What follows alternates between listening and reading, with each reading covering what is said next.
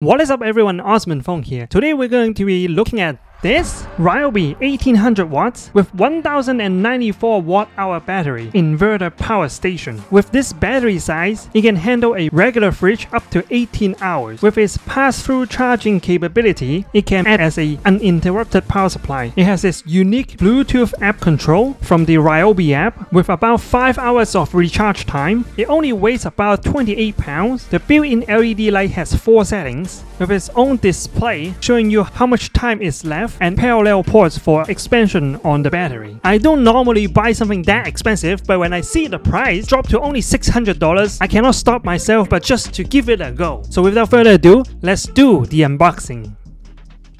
You open it up, you get a cover like this. This is the battery itself, you know, with its own handle. We can put this over. When the cover is on, it is kind of like this. There will be fan that's coming on the back, storage pocket, and at the front, zippers, and then use these ports over here.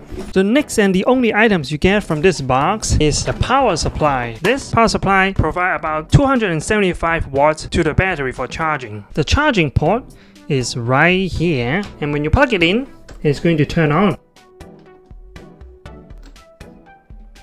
So as you can see right here on the screen, that it is charging 21 minutes until it is fully charged. According to the manual, if it is fully empty out from 0%, it can charge to 90% just within 3 hours. When you first turn it on, you press and hold, um, then it will turn on.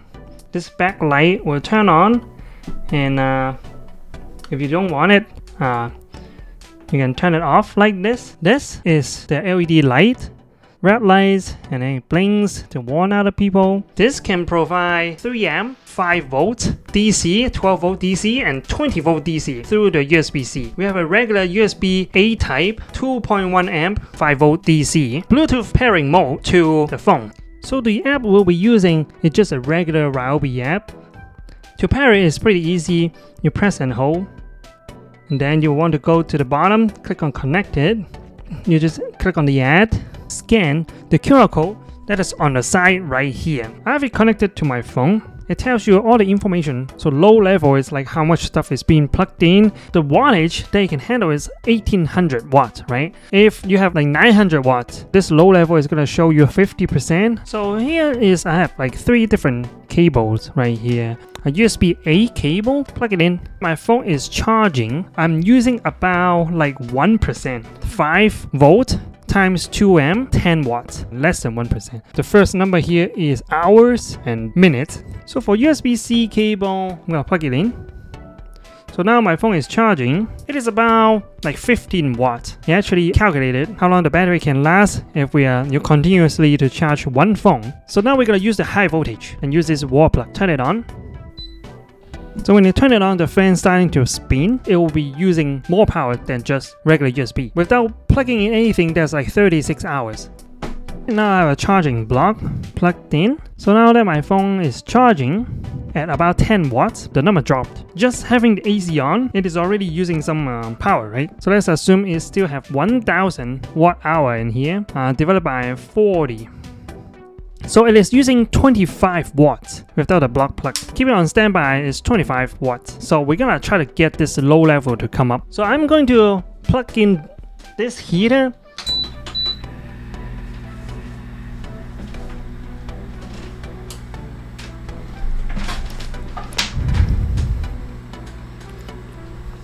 Uh, right now it is 73%, so that is about 1100 watts that the heater is consuming. The time got really low. There's only 47 minutes left. We gotta turn it back off. So now that the low level back to zero, the standby hours is back. So I've always wanted to know how much wattage in total our room is actually using during the day. So this is our room. This is a Wi-Fi light switch. One light. We have a camera, mini fridge. We still want to watch TV. The PlayStation 4. So this bathroom we have four lights uh, this light also this light to be turned on. And also the power goes inside my studio. I want these lights to be on these two lights to be on. I have three monitors and I have my work computer here. Also my printer is going to stay on and also uh, two of my UPS so with that in mind we're gonna plug in our battery. So now to let the power station to calculate how much power it is actually gonna be used for my room I'm gonna have to isolate my room by turning off the breaker for my room. So now we are going inside of the room. You can see uh, nothing is on. We are going to plug in the cable that goes from the wall to the unit. So let's turn it on. We're going to turn on the AC power. Alright, so now we can actually see the whole room is getting power from power station. So we have our monitors, so all three monitors are on. Laptop is being charged, we have another laptop being charged, uh, two UPS is getting power. Right now we can actually turn on this light. So it's getting the power from there. These are all on. So all of these are back on. Uh, we have the PlayStation, we can turn on the PlayStation as well. So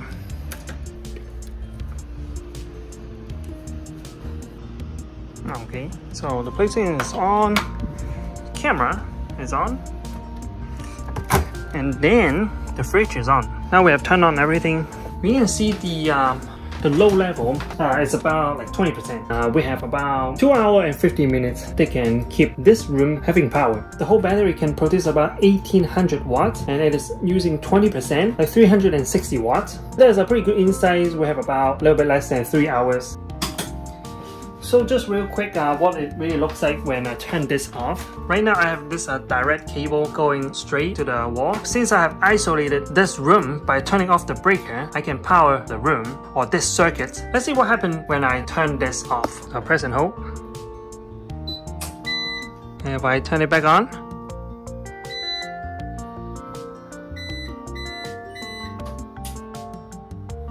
Another way, instead of turning this off, is to unplug this, right?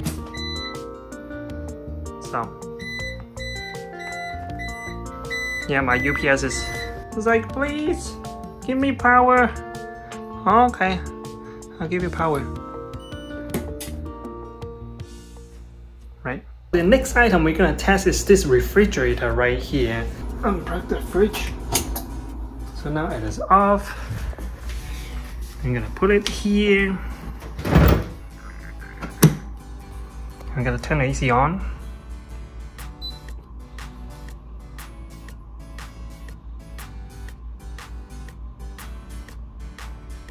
For some reason it is not showing the low level. I guess the low is kind of low at the moment. Yeah, it's power. You know, it's cold. It's power. Uh, the water dispenser. Oh, so it just went to seven hour earlier. Now we're gonna use the motor. Went down to like 17 hours. Uh, open this fridge. We went to 12 hours. We uh, opened up the other fridge. Know, there's some light in there, so and now it went down to 7 and now it uh, went back to 36 hour remaining so that is pretty good. So at the very last I really want to test out is this parallel kit. So here I have two power stations. We can use this cable over here.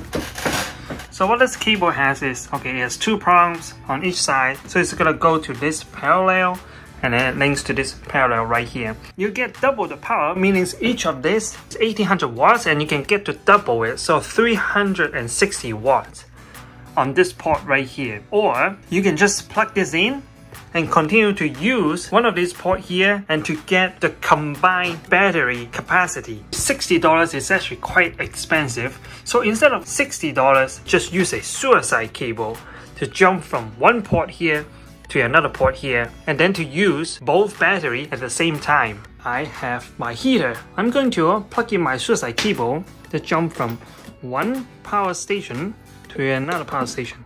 So I've tested it so I know that it works. Like normally you want to plug into you know, one power station to get power from it, right? So, but instead of that, we are going to power from this power station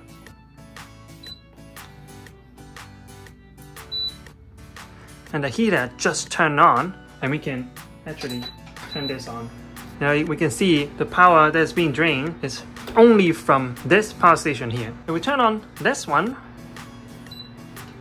as well, we're gonna be using both of this battery together. So while this just turned on, you know, with four batteries on, it actually reads how many wattage is being taken out from this generator to keep this heater on. And also we can see the hours remaining has gone up on this side and then the load uh, has cut in half. 50% come from this power station and the other 50% come from this power station. If we turn this off the heater is still going to work. And if we turn this off the heater just turned off while using a suicide cable, you can actually use these two power stations and have them share the battery for double the time. So another cable you can buy is this cable. This is the cable that has the same parallel features. It has a 240 volt adapter. If you have a plug for your house and you don't have a generator, you can actually use two of these power station and the parallel cable for your house. So this just get plugged into here, you plug in your parallel. It doesn't matter which way. Okay. Okay, so this right here is the ground, and this one is a share node, and this one has its individual nodes. So when we're gonna test it here, we're gonna get 120 volt. So get 120 volt here, 120 volt here, and then across. And right here, we're getting the 220 volt. So you can definitely plug this in to your generator plug for your house to get power. So now that we have our generator power plug that we're going to plug in, plug in this cable into that is hooked up to these two power generators. So 30 amp go to there, which goes right next to this 30 amp dryer. Everything is going to be do on one take. Alright, if there's power, that should light up green on this LED. So let's go ahead and turn this on.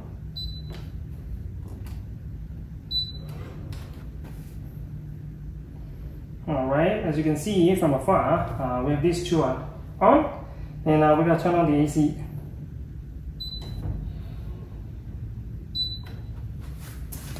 Alright.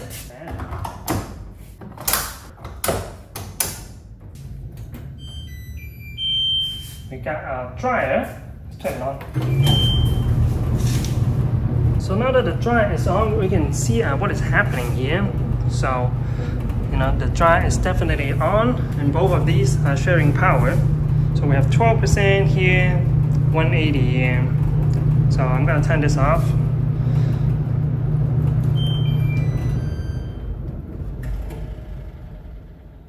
Then went to zero, then went to zero. So there we go, we have 220 volt from this box using this wire.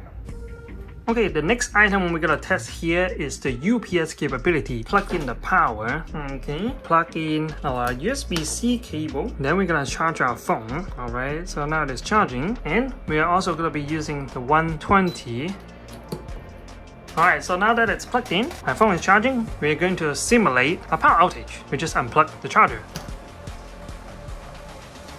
See? The computer is still charging and the phone is still charging. And I've uh, unplugged. So this is acting just like a UPS. So this has been the Ryobi 1800 watts power station. If you like this video so far, make sure to hit the like button for the almighty YouTube algorithm. I'm going to leave the link down below for this product for you to check out. Subscribe if you want to see my face again, and I will see you in the next episode.